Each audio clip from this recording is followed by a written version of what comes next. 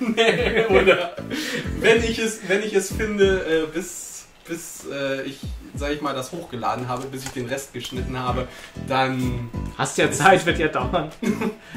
Na, ich möchte das ehrlich gesagt schnell oben haben. Und diese ganzen Schnitte machen mir das zunichte. Das wird, das wird morgen definitiv noch nicht oben, oben sein. Also, es wird morgen schon oben sein, von jetzt aus Morgen gesehen. am wenn 11. jemand August, das, meinst du? Ja, morgen am 11. August ist das da. 21. Von mir aus auch. Weißt du, was wir mal irgendwann noch 2100? machen könnten? Ja. Wir könnten irgendwann mal so eine Aufnahme mit Superman 64 machen. Ja, Das wäre doch cool. richtig, richtig. Wir haben ja letztens erst eine mit Hugo gemacht. Eben. Schnitt zu Hugo. Äh, links wird ein bisschen so leicht, weiter rechts, zu weit, äh, links, weiter links. Scheiße! Das geht so nicht. Ich hab da die Aufnahme gar nicht. Scheiße, stimmt. Ich weiß nicht, ob ich die noch habe. Ich habe die, ich habe die, die, die, die ist mir verloren gegangen. Müssen wir eine neue machen. Dann warte mit dem Hochladen, bis wir Superman 64 haben und dann schneide das rein. Gute Idee. Oder ist es einer, der hierher gehört? Pass bitte auf, dass du nicht durch irgendwelche Böden oder Wände fällst. Schon. Nein!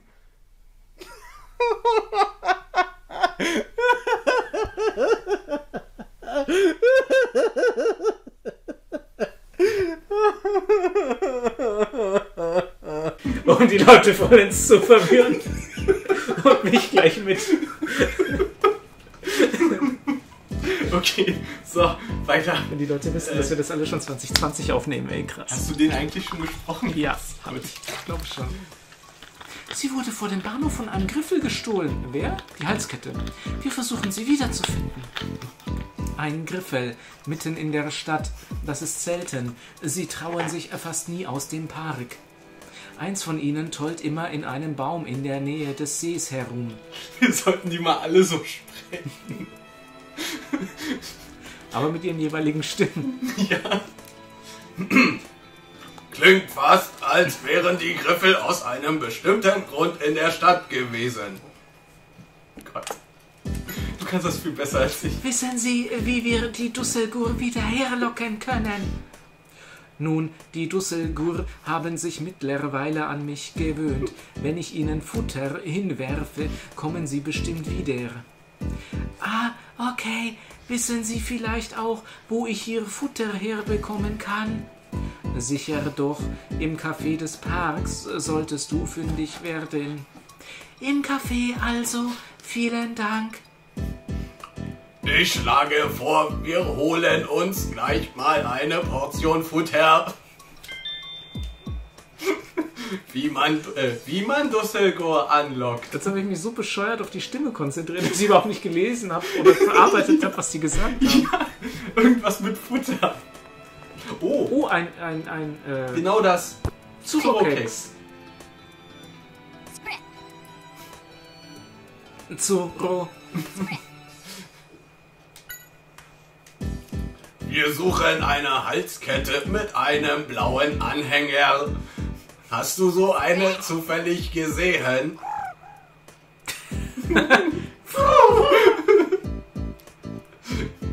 Du hast so eine Halskette also weder gesehen noch durch die Gegend gekickt. Aha. Was hältst du von den Griffel? Die Häufigkeit ihrer Streiche geht zwar zurück, aber dafür werden sie immer unverschämter. Zuro. Verstehe, du vermutest, dass jemand es deswegen auf sie abgesehen hatte und ihnen die Halskette abnahm. Hm, interessant. Ich lass mir das mal durch den Kopf gehen. Hey Junge! Ist dieser Jungspund da dein Trainer? Keks. Du hast ihm mal seinen Ball zurückgepasst und seitdem seid ihr Freunde. Offenbar hält sich Zurokex jetzt für den Fußballtrainer des Jungen. Was hältst du von den Dusselgur? Zuro. Du bist ihnen schon öfters begegnet, aber sie sind immer noch sehr distanziert. Hm. Okay, hat uns das irgendwas gebracht? Nö. Gut. Hallo du da. Hey, was gibt's? Griffel gibt's. Vorhin gab es an dem Baum dort drüben eine Rauferei, die in ein Griffel, Die in ein Griffel. in die ein Griffel verwickelt war. Weißt du irgendwas darüber? Eine Rauferei, echt. Das habe ich gar nicht mitbekommen. Ich war die ganze Zeit damit beschäftigt, mit Surokex Pässe zu üben. Verstehe. Trotzdem danke. Okay. Kommt dir diese schwarze Feder bekannt vor? Die ist wirklich ziemlich schwarz. Ich könnte schwören, schon mal so eine gesehen zu haben, aber keine Ahnung wo. Ich finde das schön, dass du diese schwarze Federweise. Die ist wirklich schwarz. Also, so wie du das gesagt hast, könnte das auch von einem Roboter geschrieben worden sein.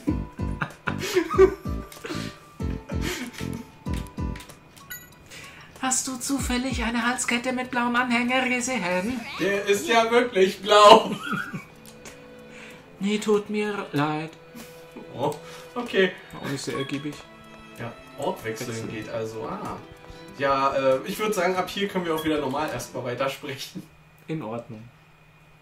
Speichervorgang. Oho, wer bist du denn? Ein Floing. Oh, ein So ein Quietsch wie die La Quica. Pikachu. Ein Floink. Hättest du kurz Zeit, uns ein paar Fragen zu beantworten? Solltest du das nicht lieber das Floink fragen? Floink? Oh Gott.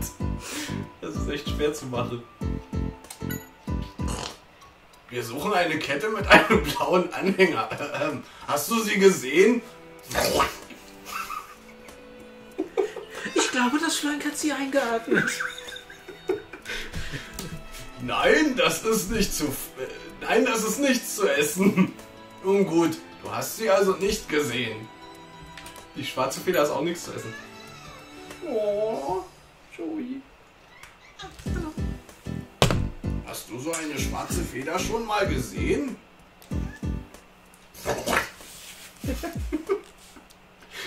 Hey, lass das! Die kannst du nicht essen. Nein, nicht mal einen kleinen Bissen. Puh, Floink hat ganz schön Kraft, aber ich konnte das Beweisstück retten. Die Feder kommt ihm zwar bekannt vor, aber es ist sich nicht sicher, woher. Warum hast du ein, äh, warum warst du eigentlich im Gebüsch? Ah, du hast also nach Bären gesucht und hast du welche gefunden?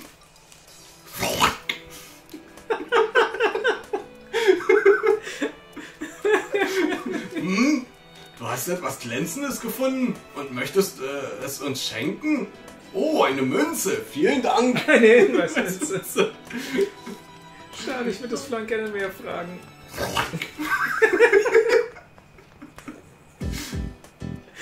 Also ich glaube, so Flambirex und Verkuckel kriege ich so nicht hin.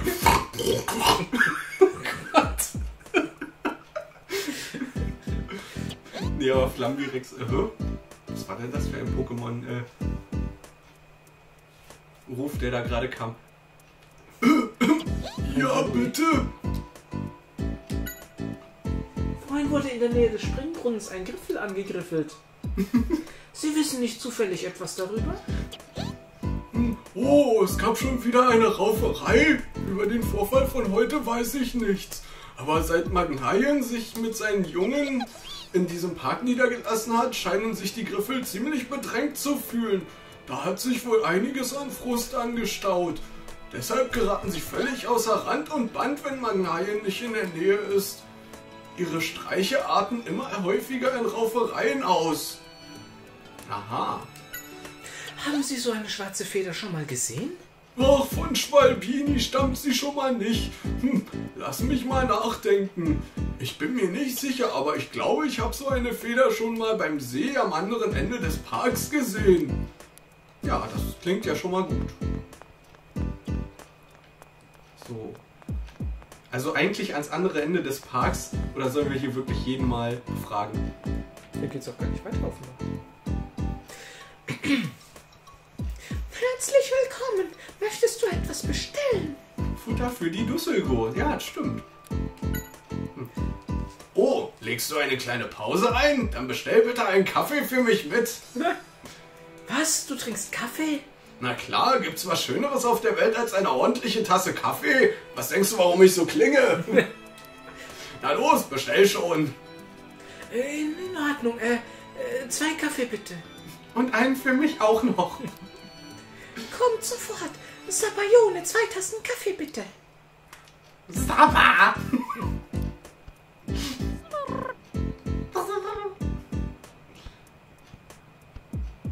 Oh. Oha, gar nicht mal so übel, dieses Gebräu. Ich habe noch nie einen Kaffee getrunken, einen Pokémon gesehen, das Kaffee trinkt. Wenn du glaubst, Pokémon hätten keinen Geschmackssinn, hast du dich geschnitten. Ah, so ein Käffchen unter blauem Himmel ist schon was Feines. Aber mal unter uns. Ich kenne jede Menge Läden, die noch besseren Kaffee verkaufen. Wieso wird Gamschuh eigentlich immer mehr zum Berliner?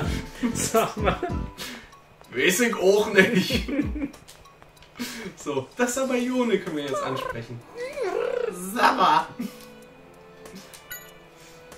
Wir suchen eine Halskette mit einem blauen Anhänger. Hast du vielleicht eine gesehen? Saba? Ob sie einen äh, besonderen Geruch hat? Nein, nicht wirklich. Der fängt nur so an zu Berlinern, wenn er Alkohol oder Kaffee getrunken hat. Oder wenn, nur wenn er Alkohol getrunken hat und in dem Kaffee war welcher. Hm, sieht so aus, als könntest du uns auch nicht weiterhelfen. Trotzdem danke. Weißt du, wem diese Feder gehört? Sabba. Die Feder hat meinen Geruch angenommen, deswegen kannst du es nicht sagen. Schade. Der Kaffee. Der Kaffee war echt lecker. Weiter so, Kumpel. Sabayode. Was macht die Kundschaft? Ist heute viel los? Saba. Ach, es kommt also immer nur, äh, es kommen also immer nur Menschen? Naja, immerhin ist, ein Kaff, äh, ist es ein Café für Menschen. So, gut. Aber wir konnten bei der Frau noch mehr bestellen. Wir konnten noch was. Ja, stimmt. Futter für die Dusselgur. Stimmt es, dass man hier Futter für die Dusselgur bekommen kann? Ja, wir verschenken sie von den Gerichten übrig gebliebenen Brotkrumm. Hier bedien dich. Vielen Dank. Futter für die Dusselgur. Okay, und jetzt noch die schwarze Feder. Gibt es in diesem Park ein Pokémon, das ein schwarzes Gefieder hat? Lass mich mal überlegen. Hm, Das Gefieder von Kramux ist komplett schwarz. Die beißen, Joey. Ist schon okay. Aber die Schwanzfedern der Dusselgur sind auch schwarz. Vielleicht ist das ja jetzt so gerade äh, sowas wie Racial Profiling, was wir betreiben. Und in Wirklichkeit war es wirklich die Schwanzfeder eines Dusselgur. Und das Gefieder von Schwalbini sieht auch irgendwie ebenfalls ziemlich schwärzlich aus. ich habe da ein paar Worte eingefügt, die da nicht standen, glaube ich. Was ist denn jetzt noch mit dem Kaffee? Ja. Der Kaffee war sehr gut. Pikachu scheint er auch geschmeckt zu haben. Psst, nicht den Kuchen essen. Vielleicht sollte ich mich äh, um den mal kümmern. Den Pikachu? Nicht die Kerze essen.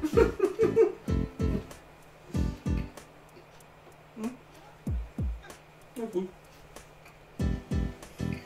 Äh, Schon gut, nicht so richtig. Äh, Hatte ich eigentlich schon erwähnt, wie sehr mir ihr Laden gefällt?